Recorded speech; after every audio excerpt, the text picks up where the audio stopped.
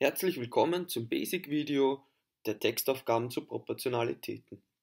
In diesem Video lernst du, wie du eine direkte und indirekte Proportionalität unterscheidest und die Daten für die Tabelle aus einem Textbeispiel erkennst. Als sehr hilfreich für das Erkennen, um welche Proportionalität es sich handelt, erweisen sich unsere beiden Merksätze aus dem Intro-Video. Leider habe ich ein äußerst schlechtes Gedächtnis und ich habe mal wieder die beiden Merksätze vergessen. Kannst du mir weiterhelfen? Klicke auf Pause und sobald du die beiden Merksätze weißt, wieder auf Play.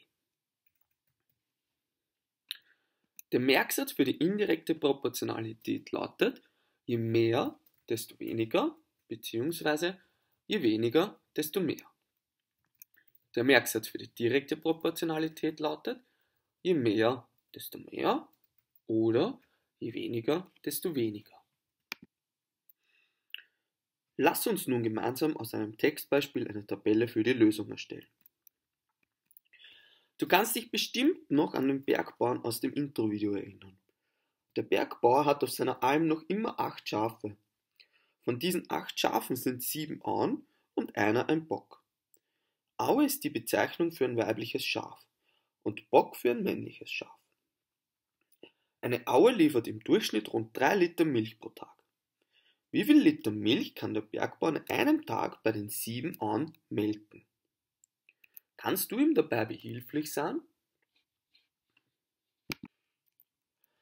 Als erstes versuchen wir mit Hilfe unserer Merksätze herauszufinden, ob es sich um eine direkte oder indirekte Proportionalität handelt. Welchen Merksatz findest du passender?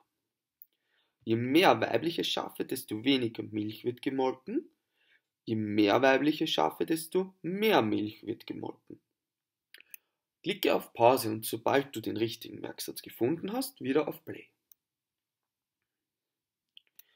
Genau, je mehr Schafe, desto mehr Milch wird gemolken. Wir wissen nun, dass es sich um eine direkte Proportionalität handelt und können als nächstes aus dem Textbeispiel eine Tabelle erstellen. Lies dir nochmal in Ruhe die Textaufgabe durch und versuche dann die wichtigen Textstellen in diesem Textbeispiel zu markieren.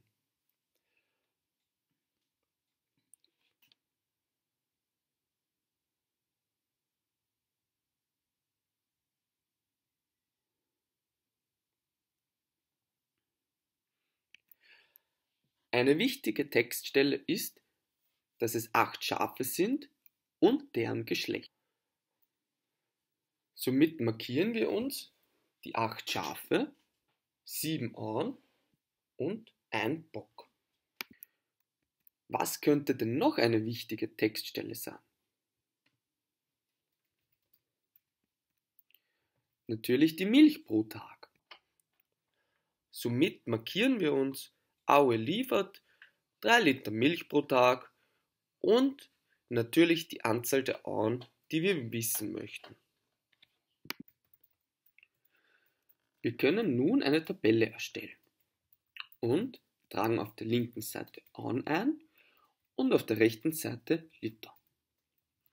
Wenn eine Aue 3 Liter Milch gibt, wie viel geben dann 7 Auen?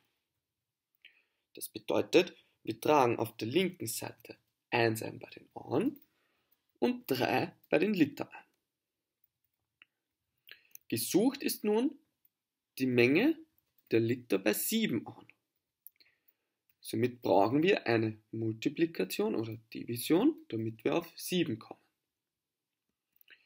Wir multiplizieren 1 mal 7 und erhalten 7 auf der linken Seite. Da es direkt ist, machen wir dasselbe auf der rechten Seite und erhalten 3 mal 7 und das ergibt natürlich 21.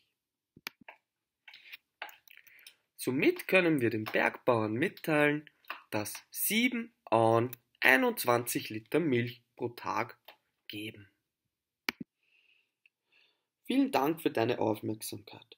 Im Basic Video 2 werden wir ein Textbeispiel zur indirekten Proportionalität lösen und bei Beispielen gemeinsam erkennen, um welche Proportionalität es sich handelt.